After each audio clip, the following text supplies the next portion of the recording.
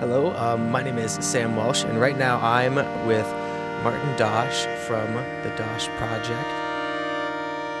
Uh, what was the first show that you ever saw?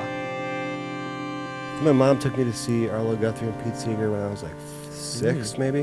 That'd be very cool. I remember being really into Alice's Restaurant. If you could play a concert anywhere in the state, where would you play at? Do you have a favorite venue here? Uh, my favorite venue is the Entry. Okay. Um, that- if I could play anywhere, that's probably where I would play. Something about the mojo in that room is pretty great, and uh, it's a weird shaped room, but played there so many times and seen so many great shows there. It's just got just thinking of all the people that have played there too. It's it's pretty amazing. Yes.